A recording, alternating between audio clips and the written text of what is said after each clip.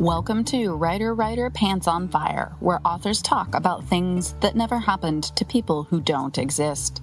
I'm your host, Mindy McGinnis.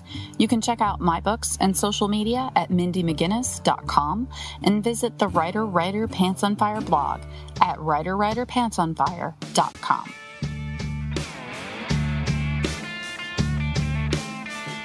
Welcome to the July Podcast Roundup. Remember that if you're interested in hearing exclusive agent and editor interviews, support the podcast through Patreon.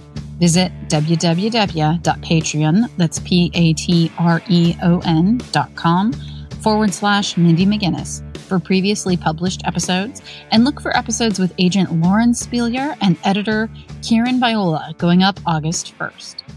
Lauren, an agent with Triada Literary, talks about ensuring middle grade voice in your middle grade novel, and Kieran Viola, a senior editor at Disney Hyperion, talks about shepherding an author's work through the publishing process. Please consider supporting the podcast by donating to the Writer Writer Pants on Fire GoFundMe. Any and all amounts are welcome to keep the show going. If the podcast has been helpful to you in your writing journey, please consider donating. The greatest treasure, a most dangerous magic. Growing up with a traveling circus, Genevieve Flannery is accustomed to a life most teenagers could never imagine. But when her mother leaves behind a dangerous magical legacy, it threatens to unravel everything and everyone Genevieve holds dear. Sleight by Jennifer Sommersby. In the month of July, I welcomed Rachel Podelic to talk about querying the agent hunt and how heavily trends impact both. Also covered tempting the possibility of creative burnout when you write every day. On July 9th, Abigail Johnson, author of the YA contemporary titles Even If I Fall, The First to Know, and If I Fix You, came to the show. We talked about the process of getting an agent, how branding can limit your writing in some ways once you have a career the ease of world building when writing contemporary, not to be confused with the idea that writing YA is easy. July 16th brought Sarah Crawford to the show, author of the YA novels We Own the Sky and Hurry Up, We're Dreaming. Sarah discussed the pros and cons of self publishing versus traditional publishing, as well as how to stay healthy emotionally, physically, and mentally as a writer. Also covered how freelancing can be lucrative for a writer and most recently, Kit Frick, author of psychological thrillers for teens, as well as a poet and editor, visited the show. Kit and I talked about not only the querying process, but the process of knowing your writing is ready to query and how to get to that place. Also covered how different structures can be illuminating for particular stories and how those same structures are challenging to write. Coming up, how to trim down the word count on that bloated manuscript. When 12 year old Miguel's gang member Papa makes promises to Santa Muerte, someone in Miguel's family loses a soul. The target is Miguel's brother, but Miguel refuses to let his soul go. This paranormal possession attracts demons, doppelgangers, and an ancient soul slayer from the depths of hell, all of whom must be vanquished. Read Tribute by Chris Knoblaugh. This story about a teen growing up on mean streets, dealing with sofa surfing, avoiding street gangs, and feeding homeless people will haunt your dreams. Listener Carrie asked me on Twitter to illuminate a little about last month's Roundup episode, which covered word count worries and what your goals should be for your genre and age category. In that episode, I illustrated my own word counts across genres and explained that even though I was executing my fifth and sixth novels with my fantasy series, I was still expected to get the manuscripts below 100,000 words. I needed to trim down around 10,000 from Given to the Sea to make that happen, and Carrie wanted to know how I went about doing that. Which, listeners, I am happy to answer any writing questions and take requests for topics or suggestions for guests as well. Always feel free to contact me through email, mindy at mindymcginnis.com, or Twitter, where you can find me at Mindy McGinnis. So, to answer Carrie's question, self editing is a skill that you acquire over time. I also offer manuscript critiques, and the issue I see new writers struggling with the most is pacing. Pacing is indeed a tricky beast, and it ties closely in with self editing and whittling down that word count. But I'm going to back up a second to the micro level and talk to you about individual words.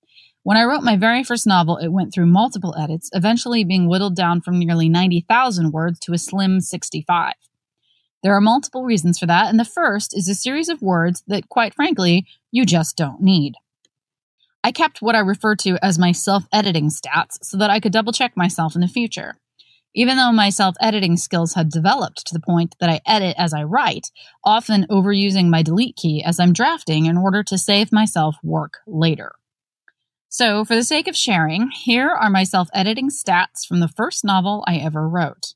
I cut nearly 20,000 words from that manuscript by adjusting for pacing and scenes, which I'll talk about in a moment, but I also cut nearly 2,000 out of just looking for these commonly overused and often useless individual words. That. Yep, you don't need it. Most of the time. Pick a sentence with the word that and then reread it, taking it out. Most of the time, the sentence will still make sense. I took 639 occurrences of that out of my first manuscript. Suddenly. You shouldn't use this word anyway. Why? Because as soon as you use it, whatever it precedes is no longer sudden. You just alert your readers that something that is going to take them by surprise is about to happen. Except you just told them something they don't expect is going to happen, so it's no longer sudden.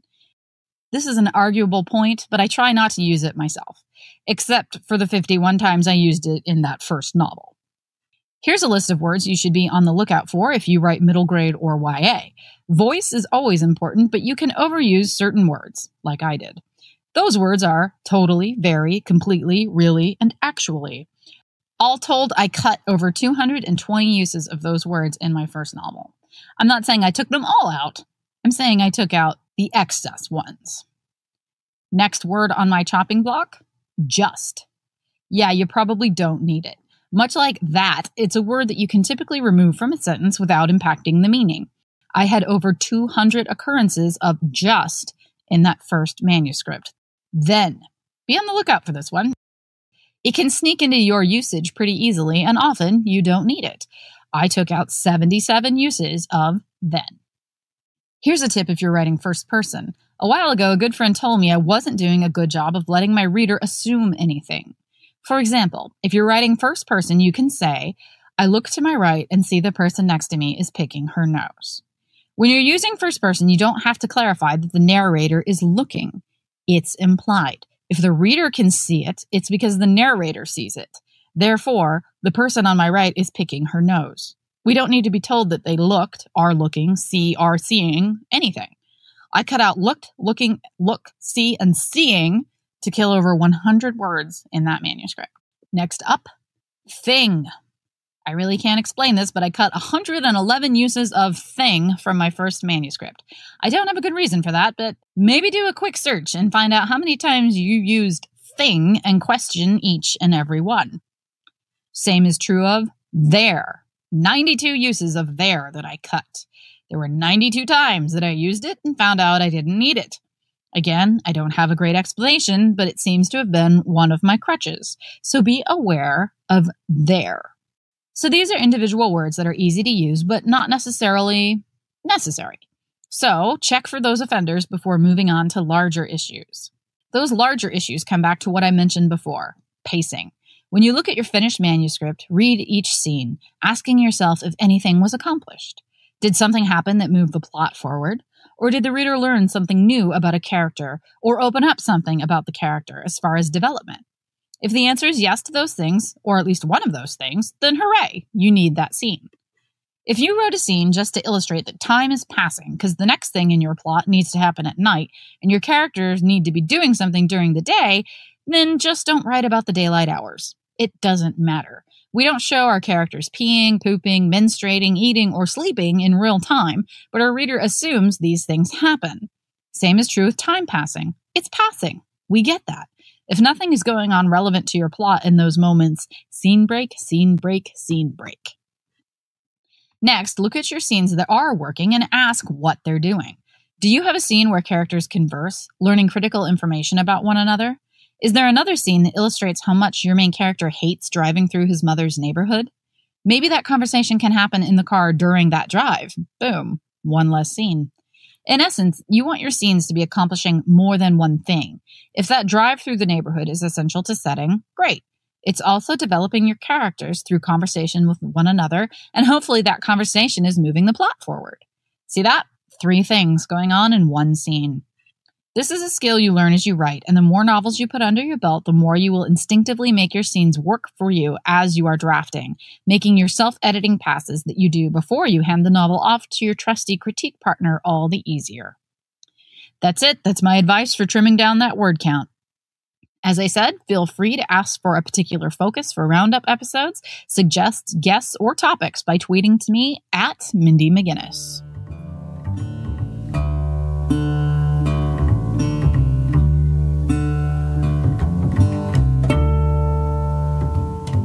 Writer Writer Pants on Fire is produced by Mindy McGinnis. Music by Jack Corbel.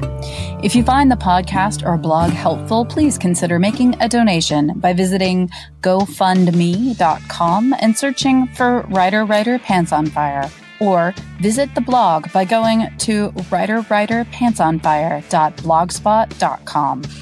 Click on the podcast tab and then the PayPal button. I'm your host, Mindy McGinnis. Join me next week for another episode of Writer Writer Pants on Fire, where writers talk about things that never happened to people that don't exist.